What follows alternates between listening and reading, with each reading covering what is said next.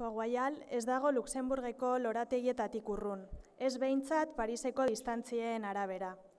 Liburua eta sanguitz bat hartuta joaten zen eguerdi aldera eta han ezagutu zuen barbara. Hospitaletik kanpo beraz, laborategian lan egiten zuen arren. Botikaria zen. Banku berean jesartzeko ausardia izan zuen egun batean. Gaztelaniaz egiten zuen senaroiarekin txilen bizei izan zelako. Ura, kobre mehatzetan ziarduen ingeniaria zelako haienderen gobernurako.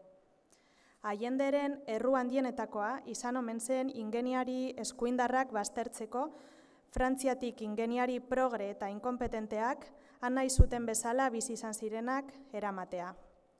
Indian eta Australian bizi izan dakoa zen. Luxemburgeko banku batean ogitartekoak konpartitu zituzten egun gutxiren buruan. Barbarak etxeak, etxean hartu zuen, lorategietatik gertu ura ere, Picasso plazan, Montparnasse eta Raspaien gurutzean.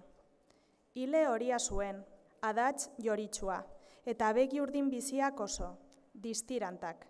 Zeukan beraritasuna, ongien gogoratzen duena, ahoa zen. Espainiak meheak izan gabe, etziren arroak, eta goikoaren arkua lisoa zen.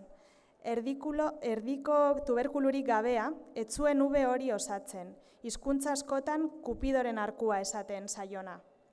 Zuriak eta sanoak zituzten hortzak, baina goiko letaginak ebakortzak baino zatiaz luzeagoak ziren, eta hauen beko ertza berdina zen zuzen, limatu izan balizkiote bezala.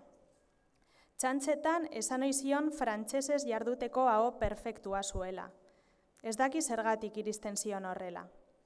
Zoriontzuak izan zirela uste du elkarrekin bizi izan zituzten hilabeteak, baina hostan du oroimenik.